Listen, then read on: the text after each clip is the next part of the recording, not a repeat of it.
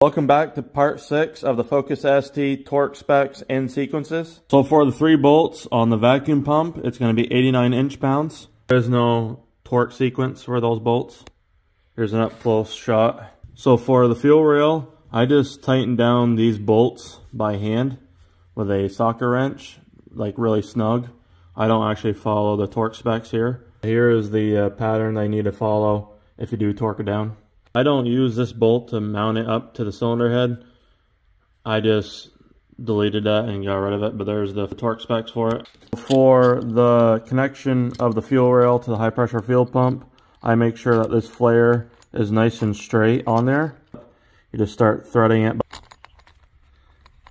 You want it to look just like that on the connection, evenly spaced. So I make sure I connect both the fuel rail end and the high pressure fuel pump end before I actually tighten these down with a adjustable. Like and subscribe. Stay tuned for